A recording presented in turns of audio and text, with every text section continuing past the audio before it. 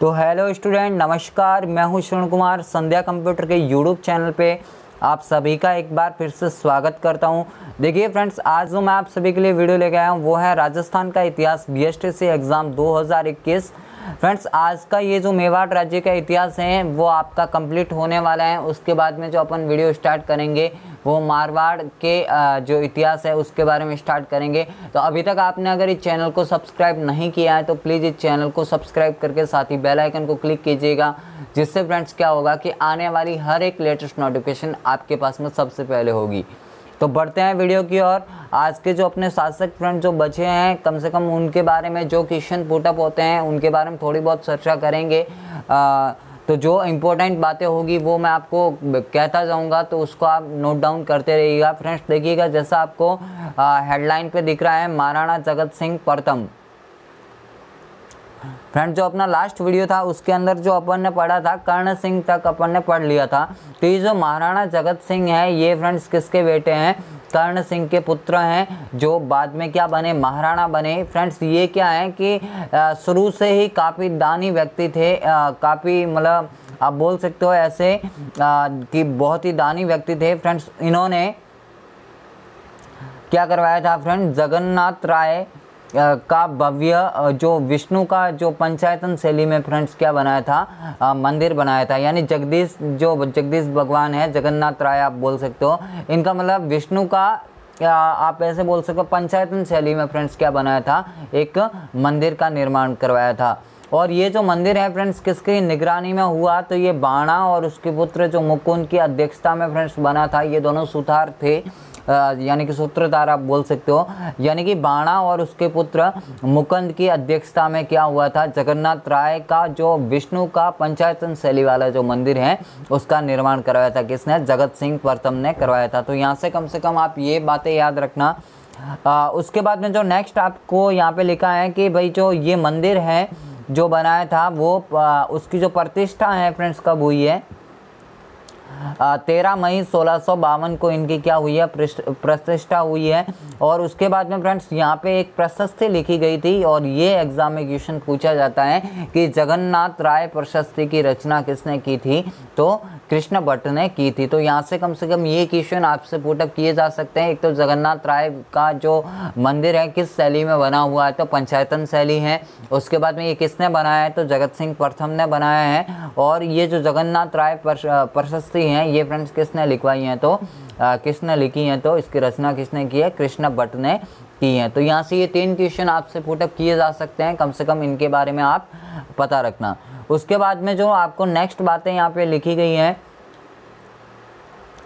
कि महाराणा ने पिसोला में मोहन मंदिर और रूप सागर तालाब का निर्माण कराया था। जग मंदिर में जनाना महल आदि बनवाकर उसको अपने नाम पर ही क्या रख दिया?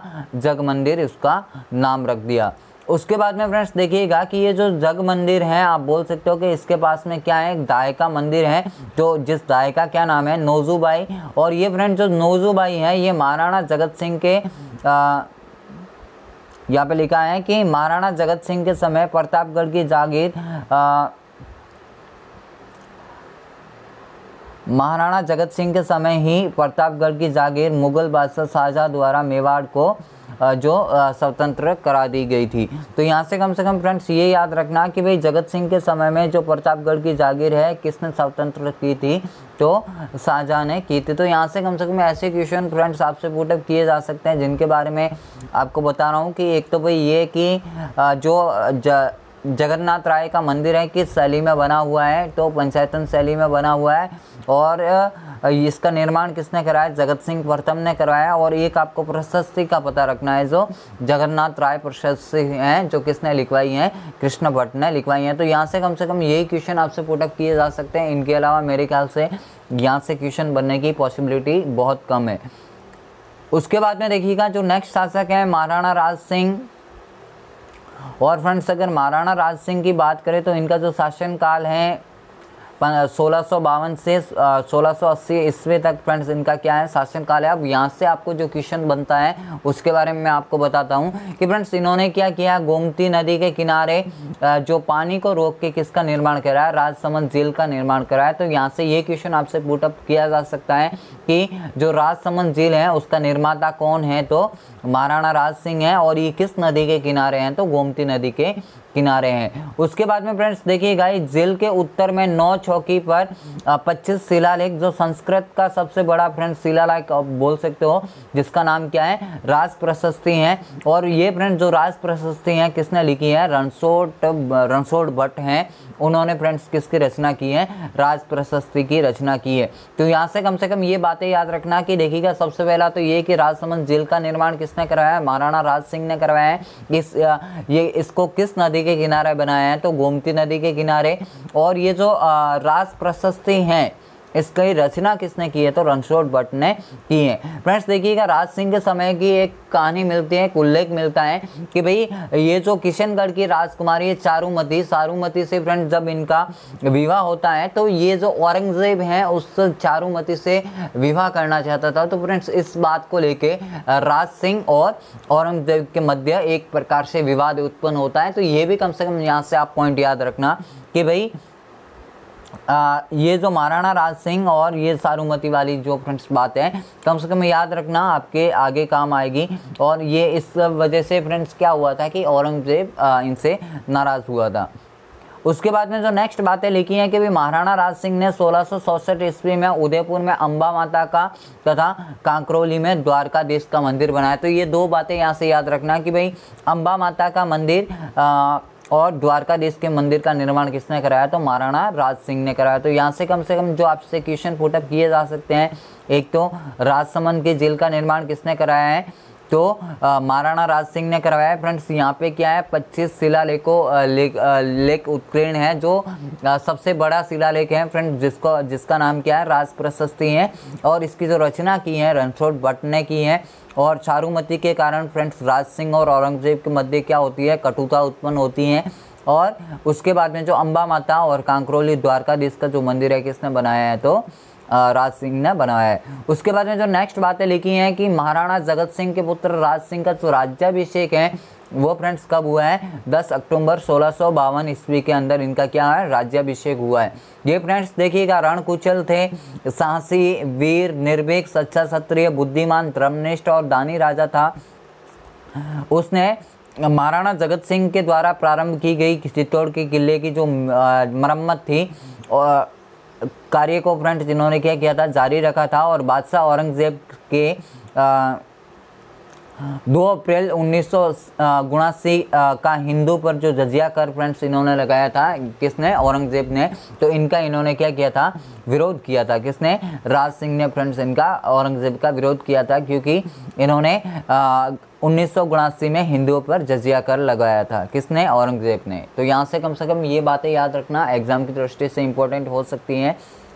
उसके बाद में फ्रेंड्स देखिएगा कि जोधपुर के जगत सिंह को अपने यहाँ आश्रय दिया और जजिया कर देने से जो है, इनको इनकार कर दिया। तो फ्रेंड्स यहाँ से कम से कम ये याद रखना कि भाई, राज सिंह के समय में जोधपुर के किस शासक को आश्रय दिया गया था? तो वो कौन थे? जग, अजीत सिंह को क्या दिया गया था? आश्रय दिया गया था। किसके समय में? राज सिंह के समय में। उसके बाद में जो नेक्स्ट शासक है, महाराणा जय सिंह और इनका जो शासनकाल है 1680 से सोलह सौ ईस्वी तक फ्रेंड्स इनका क्या है, शासनकाल है। अब इनके बारे में थोड़ी बहुत बातें जो इंपॉर्टेंट हो सकती है, उनको फ्रेंड्स अपन देख लेते हैं कि इन्होंने सोलह ईस्वी में गोमती, जामरी और रूपारेल बगार नामक नदियों के पानी को रोककर डेबर नामक जो झील है डेबर नामक जो एक आप बोल सकते हो कि नाके पर संगमरमर की एक झील बनाई जिसको फ्रेंड जिसका नाम क्या है? जयसमंद झील है। तो देखिएगा जयसमंद झील का निर्माण किसने कराया है? महाराणा जय सिंह ने कराया है। फ्रेंड्स, इसको क्या बोला जाता है? डेबर भी बोला जाता है। तो यहाँ से कम से कम यह बात आप याद रखना। बाकी तो यहाँ से आपसे पूछी जाएगी, है नहीं? अगर आपसे पूछता है कि भाई जयसमंद झील का निर्माण किसने कराया है तो आप सिंपल से बताना। कि जय सिंह ने करवाया है। उसके बाद में जो नेक्स्ट आपके शासक हैं, महाराणा अमर सिंह द्वितीय, और अगर मैं इनके शासनकाल की बात करूँ तो इनका जो शासनकाल है, सोलह से लेके 1710 ईस्वी तक फ्रेंड्स, इनका क्या है, शासनकाल है। और देखिएगा, इनके अंदर जो इम्पोर्टेंट बातें हैं, उनको एक बार देख लेते हैं कि कि वागड़ तथा प्रतापगढ़ को पुनः अपने अधीन किया, यानी किसने किया था, महाराणा अमर सिंह द्वितीय ने किया था। एवं जोधपुर व आमेर के मुगलों जो जोधपुर व आमेर जो थे, उनको फ्रेंड्स मुगलों से मुक्त कराकर जो कर्मश थे, यानी जोधपुर से अजीत सिंह थे, और, आमिर से सवाई जय सिंह को वापस वहाँ का शासक बनाने में क्या की, एक प्रकार से इन्होंने सहायता की थी। तो कम से कम यहाँ से ये याद रखो तो अच्छी बात है और इन्होंने अपनी जो पुत्री हैं, उनका फ्रेंड्स विवाह किसके साथ करवाया था? महाराणा सवाई जय सिंह के साथ में, महाराजा सवाई जय सिंह के साथ में करवाया था। तो यहाँ से कम से कम ये बातें याद रखना। देखिए फ्रेंड जो भी इंपॉर्टेंट बातें थी, उनको आपके सामने लेके आया था। आज का जो अपना टॉपिक है, यहाँ पे कंप्लीट हो जाता है। यानी मेवाड़ राज्य का इतिहास फ्रेंड्स पूरा अपना एक प्रकार से कंप्लीट हो गया है। अब आप लोग अगर किसी ने नहीं देखा है तो फ्रेंड्स प्लेलिस्ट आपको इस चैनल पे मिल जाएगी। वहाँ से आप आराम से देख सकते हो। और फ्रेंड्स जो भी हैं, आपके जो आर्ट एंड कल्चर हैं जियोग्राफी हैं, उनके भी वीडियोस तैयार कर रहा हूँ। एक दो दिन में आपके समक्ष हो जाएँगे। फ्रेंड्स आज नहीं तो कल आपके सामने कला और संस्कृति और जियोग्राफी के वीडियो भी आपके सामने लेके आऊँगा।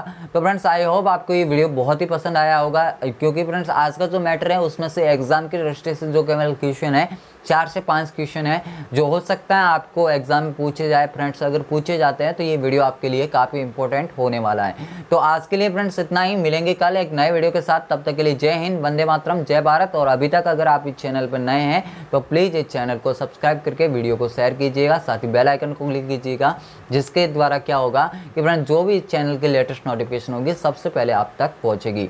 तो आज के लिए इतना ही, जय हिंद, वंदे मातरम, जय भारत, मिलेंगे कल एक नए वीडियो के साथ।